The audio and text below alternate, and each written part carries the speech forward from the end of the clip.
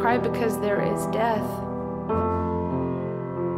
I cry because people die, and maybe the last thing they thought of was their children, and I cry because I don't have children yet.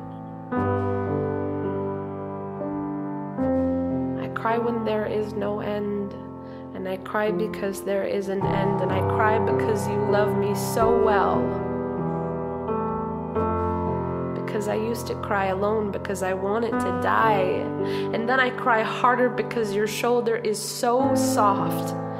Because the sunset is so beautiful on the Connecticut River. I cry because I am scared I am losing my mind, or because I'm on meds, or I'm crying because I forgot my meds, or I'm crying for the fact maybe I'm not actually myself. Because I am myself, and that doesn't feel like enough.